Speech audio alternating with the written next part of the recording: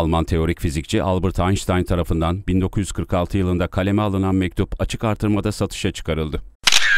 Polonya asıllı Amerikalı fizikçi Ludwig Silberstein'e yazılan ve tarihin en ünlü denklemi E eşittir mc kare formülünü içeren mektup 1.2 milyon dolar yani 10 milyon liraya alıcı buldu. 1879 yılında doğan Einstein, 1931 yılına kadar Almanya'da yaşadı. that you have me given Nazi Partisi'nin kendisini hedef göstermesinden sonra Almanya'yı terk etti ve Amerika'ya yerleşti. Einstein, genel ve özel görelilik teorilerini ilk geliştiren bilim insanı olarak biliniyor.